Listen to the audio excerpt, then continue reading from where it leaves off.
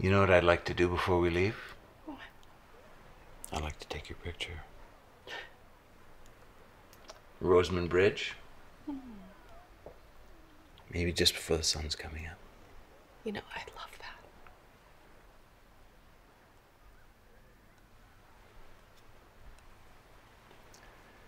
Tell me why you're not coming with me. Because no matter how I keep turning it around in my mind, it just doesn't seem like the right thing. For who? For anyone. They'll never be able to live through the talk. Richard never will. He doesn't deserve that. He hasn't hurt anyone in his life. He can move. I mean, people move. His family has lived here for almost a hundred years. He doesn't know how to live anywhere else. Oh, and the kids. The kids are grown.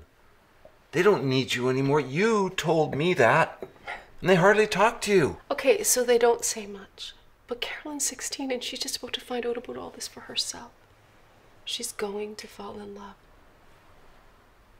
She's going to try and figure out a life with someone, and if I leave, what does that say to her? What about us? What about me?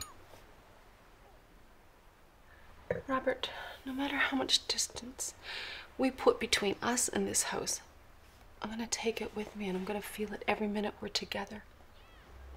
And I'm going to blame loving you for how much it hurts. And then even these four days won't be anything more than something sordid. You're telling me that staying here alone in a marriage?